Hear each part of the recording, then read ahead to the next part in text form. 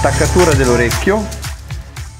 State attenti solo a non tirare che se tirate troppo ovviamente fate la rasatura andate a tosare la parte del cranio.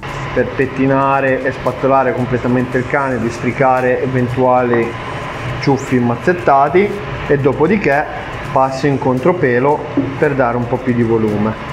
Ovviamente guardiamo dove nasce il centro della coscia cerchiamo di dividere a metà questo spazio per poter bilanciare meglio il nostro cane. Guardiamo ovviamente difetti se ci sono difetti. Quindi tutto intorno.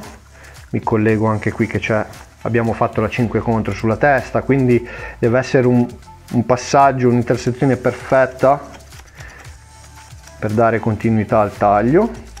Il primo taglio di questo ciglio. È leggermente piegato vedete? Sono due linee la prima e la seconda. Dovete sempre considerare che una volta questo cane aveva le orecchie tagliate quindi si creavano due linee